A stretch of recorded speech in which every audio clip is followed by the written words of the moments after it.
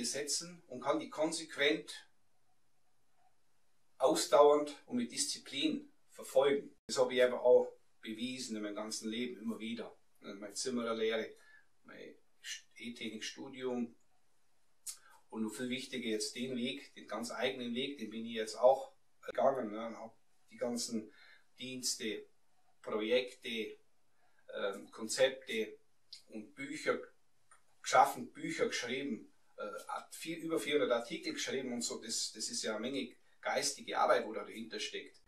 Und das, das, das ist ein längerer Weg, das waren ja 15 Jahre, wo da dahinter stecken. Ne? Also das, das zeigt halt, dass ich das wirklich auch unter Beweis gestellt habe, dass ich diese Fähigkeit habe. Und das habe ich aber damals auch schon gewusst. Ne? Dass ich aber, und das, das, die, die Fähigkeit habe ich gebaut. Und die ist super. Ich würde sogar sagen, das ist die entscheidendste Fähigkeit, die es gibt. Wenn einer ausdauernd und diszipliniert an sein Ziel arbeiten kann oder auf sein Ziel, sein Ziel verfolgen kann, das ist eigentlich alles.